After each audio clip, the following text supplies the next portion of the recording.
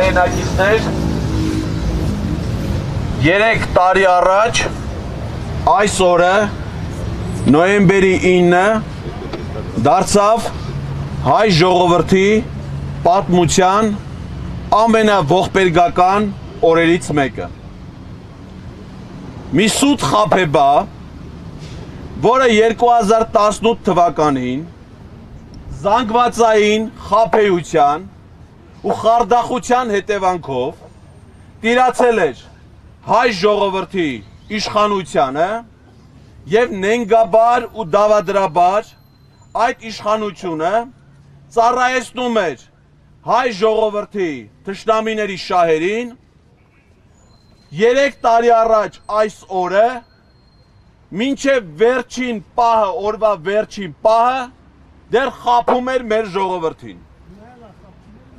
Ու դեռ շարունակում է։ Ես միայն այսօրվա համար եմ ասում։ 3 տարի առաջ այս օրը դեռ ավելի ուշ ժամի Facebook-ում գրառում էր կատարե։ Շուշիի համար մարտերը շարունակվում են։ Ավելի ուշ արդեն այս տարի Մամուլի ասուլիսում լրագրողների հետ հանդիպման ժամանակ ասում է առաջին տեքստը հայտարարության ես ստորագրել եմ նոյեմբերի 9-ի առավոտյան։ Ուղղակի այդ տեքստը մյուս կողմերը չէին ստորագրում եւ ժամ առ ժամ ավելի վատ էր դառնում իրավիճակը, ստորագրվել է ավելի ուշ։ Այսինքն ինքը նոյեմբերի 9-ի առավոտյան արդեն ստորագրել է հայտարարության տեքստ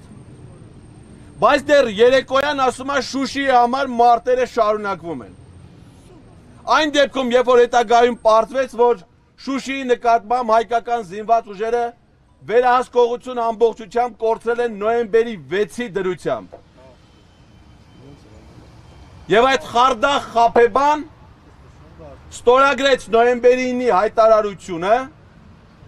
եւ փախավ մտավ թաքստոց։ Ճիշտ այնպես ինչպես տեղեկանալով այսօրվա ակցիայի մասին, անգամ չիմանալով դրա մասշտաբների մասին,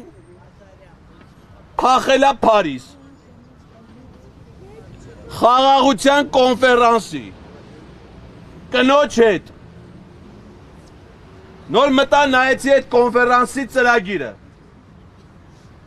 Միակ երկրի ղեկավարն է, որ դրան մասնակցում է։ Իրանից բացին դեղ ոչ մեկ չկա։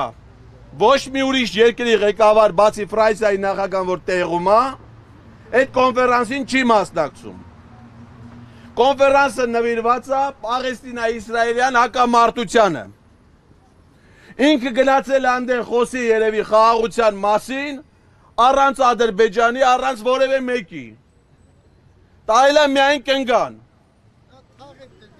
Կառավարության կայքում դեռևս չկա որոշում գործուղման մասին,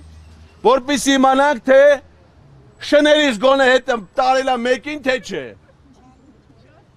Չալոին տարելա, թե չի տարել։ Ակնայտա, որ ընդամենը փախելա։ Ուր պիտի փախնես դու այս ժողովրդից։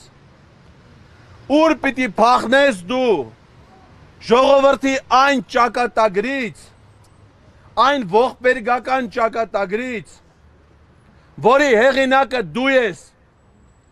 ու մի միայն դու, և անկախ դրանից, թե ինչ զառանցանքները ինքը դուրս տալի ամեն օր, հայ ժողովուրդը, գիտակից ժողովուրդը, հազարամյա պատմություն ունեցող, մշակույթ ունեցող,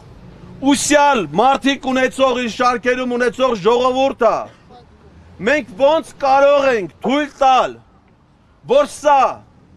իր պրիմիտիվ մտածողությամբ իր մակերեսային դատողություններով իր անգրագիտությամբ կործանի շարունակաբար մեր երկիրը զոհողության տանի մեր ժողովրդի հազարավոր զավակների Մենք պետք է ինչ-որ մի օր կանգնենք ու կանգնեցնենք այս աղետաբեր ընթացքը։ Ոչ մի պարագայում Սա հանդուրժել չի կարելի։